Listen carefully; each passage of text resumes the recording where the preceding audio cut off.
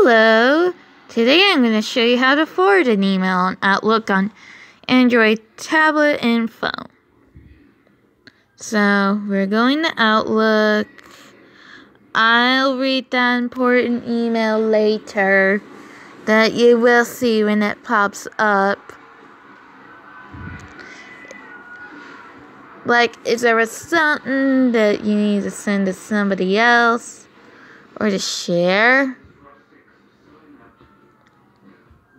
So I'm clicking on that tutorial email. Okay.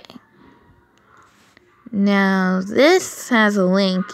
You can forward a link, so you just hit the three the three dots are on your right at a time. Then you hit forward.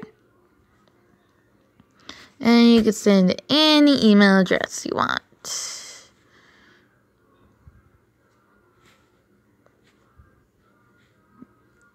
And you could say, say something, and then hit the right arrow that kind of looks like an airplane, and then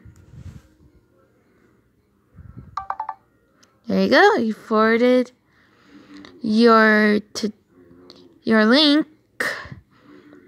And now you've learned how to do all this.